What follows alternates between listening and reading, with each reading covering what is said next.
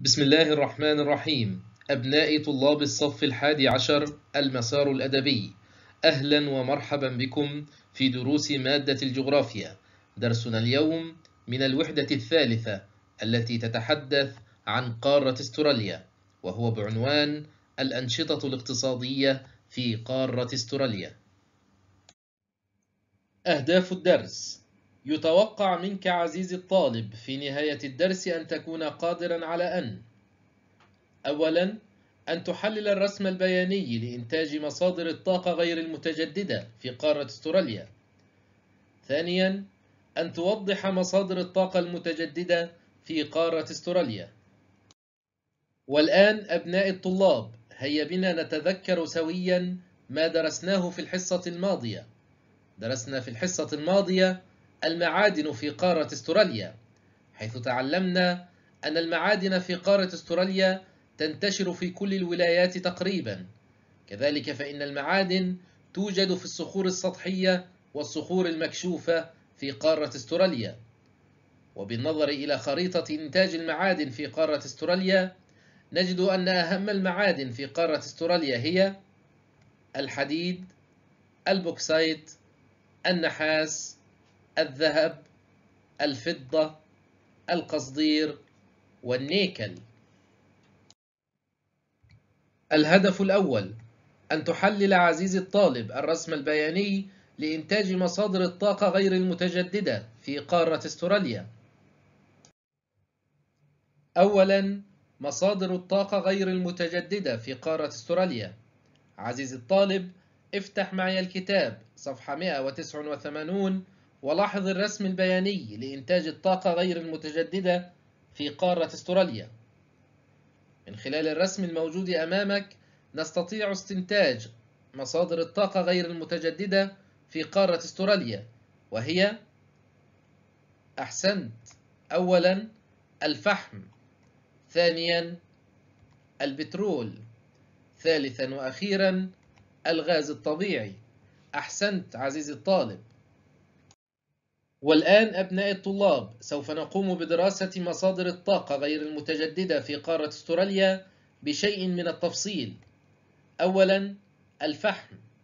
يعتبر الفحم هو أكثر مصادر الطاقة غير المتجددة انتشارا في قارة استراليا حيث تنتج استراليا حوالي 7.7% من الإنتاج العالمي.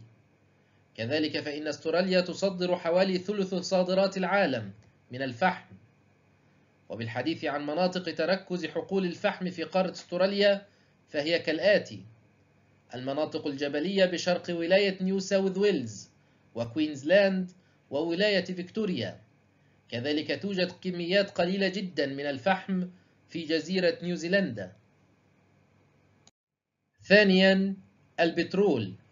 وبالنظر إلى الرسم البياني لإنتاج مصادر الطاقة غير المتجددة في قارة استراليا يلاحظ أن إنتاج البترول في قارة أستراليا إنتاج ضئيل جدا حيث تفتقر أستراليا إلى البترول حيث تنتج 34 من 100% من الإنتاج العالمي للبترول وبالتالي فهي تضطر إلى استيراد حاجتها من البترول من الدول الخارجية. ثالثا الغاز الطبيعي وتنتج قارة أستراليا حوالي 3.4% من الإنتاج العالمي للغاز الطبيعي. والآن عزيزي الطالب أجب عن الأسئلة التالية. أولا اختر الإجابة الصحيحة مما يلي. اختر مما يلي نسبة إنتاج قارة استراليا من الغاز الطبيعي بالنسبة للعالم. ألف 4.3 من عشرة بالمئة. باء 3.4 من عشرة بالمئة. جيم 2.3 من عشرة بالمئة. دال 3.2 من عشرة بالمئة. هل تعرفونها؟ نعم. أحسنت عز الطالب. تبلغ نسبة إنتاج قارة أستراليا من الغاز الطبيعي بالنسبة للعالم 3.4 من عشرة بالمئة. أحسنت عز الطالب. اختر مما يلي نسبة إنتاج قارة أستراليا من الفحم بالنسبة للعالم. ألف 4.7 من عشرة بالمئة. باء 5.7 من عشرة بالمئة. جيم 6.7 من عشرة بالمئة. د 7.7 من عشرة بالمئة. نعم أحسنت عز الطالب. تبلغ نسبة إنتاج قارة أستراليا من الفحم بالنسبة للعالم 7.7 من عشرة بالمئة. أحسنت عز الطالب. أذكر مصادر الطاقة غير المتجددة في قارة استراليا. هل تتذكرونها؟ نعم أحسنتم.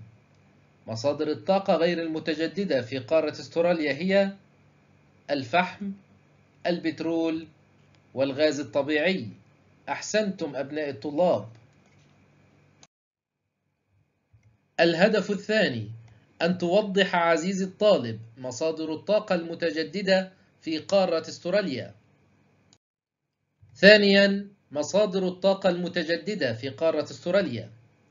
نجحت قارة استراليا في الاستفادة من قوى الطبيعة لتوليد الكهرباء حيث تنتج استراليا 31.9 من عشرة تيراوات في الساعة من الكهرباء المولدة من مصادر الطاقة صديقة البيئة. سواء من الرياح أو من الشمس أو من السدود ممثلة في الطاقة الكهرومائية.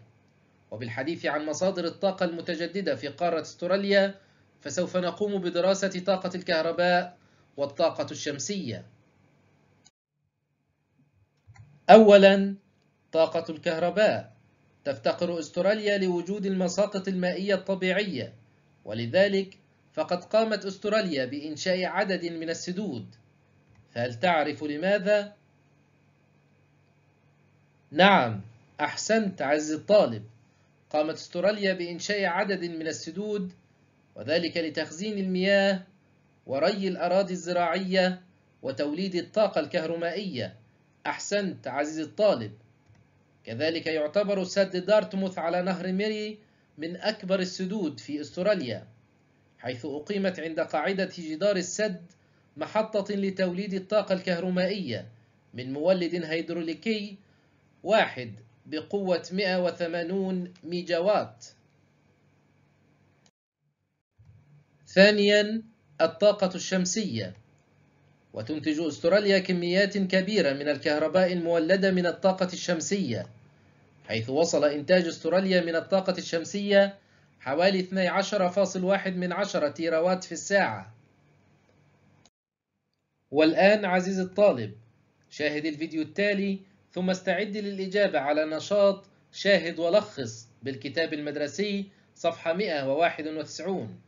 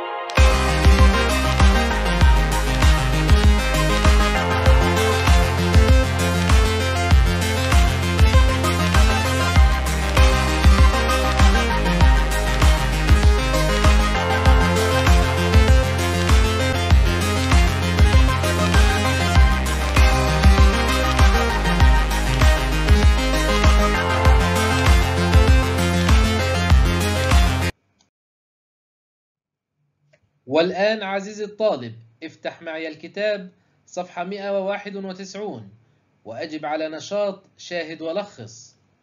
يقول السؤال ما أهم ملامح استراتيجية استثمار الطاقة الشمسية في أستراليا كما شاهدت بالفيديو؟ نعم أحسنت عز الطالب. تتمثل ملامح استراتيجية استثمار الطاقة الشمسية في قارة أستراليا من خلال السعي إلى أن تغطي الطاقة الشمسية نحو 10% من احتياجات استراليا من الطاقة. أحسنت عز الطالب. السؤال التالي فسر أهمية اعتماد استراليا على الطاقة الشمسية. نعم أحسنت عز الطالب. تعتمد استراليا على الطاقة الشمسية لأنها تمثل حلا لمشكلة توفير الطاقة للمناطق النائية. أحسنت عزيزي الطالب. والآن عزيزي الطالب أجب عن الأسئلة التالية. بما تفسر قامت أستراليا بإنشاء العديد من السدود. هل تتذكر الإجابة؟ نعم أحسنت. قامت أستراليا بإنشاء العديد من السدود وذلك لتخزين المياه وري الأراضي الزراعية وتوليد الطاقة الكهرومائية. أحسنت عزيزي الطالب. أبناء الطلاب والآن وصلنا إلى الغلق الختامي للدرس. والآن عزيزي الطالب أجب عن الأسئلة التالية. اختر الإجابة الصحيحة مما يلي. اختر مما يلي نسبة إنتاج قارة استراليا من الغاز الطبيعي بالنسبة للعالم. ألف 4.3 من عشرة بالمئة. باء 3.4 من عشرة بالمئة. جيم 2.3 من عشرة بالمئة. دال 3.2 من عشرة بالمئة. نعم أحسنت عزيزي الطالب. تصل نسبة إنتاج قارة أستراليا من الغاز الطبيعي بالنسبة للعالم إلى 3.4 من عشرة بالمئة. اختر مما يلي نسبة إنتاج قارة أستراليا من الفحم بالنسبة للعالم. ألف 4.7 من عشرة بالمئة. باء 5.7 من عشرة بالمئة. جيم 6.7 من عشرة بالمئة. دال 7.7 من عشرة بالمئة. نعم أحسنت عز الطالب. تصل نسبة إنتاج قارة أستراليا من الفحم بالنسبة للعالم 7.7 من عشرة بالمئة. أذكر مصادر الطاقة غير المتجددة في قارة استراليا هل تتذكرونها؟ نعم أحسنتم مصادر الطاقة غير المتجددة في قارة استراليا الفحم البترول والغاز الطبيعي بما تفسر قامت استراليا بإنشاء العديد من السدود هل تعرفونها؟ نعم أحسنتم أبناء الطلاب. قامت أستراليا بإنشاء العديد من السدود لتخزين المياه وري الأراضي الزراعية وتوليد الطاقة الكهرومائية. أحسنتم أبنائي الطلاب. والآن أعزائي الطلاب من خلال تطبيق Microsoft Teams عليكم الرجوع إلى معلم الصف لمناقشة الدرس والإجابة على جميع استفساراتكم. وبذلك أبنائي الطلاب يكون قد انتهى درسنا اليوم. السلام عليكم ورحمة الله وبركاته.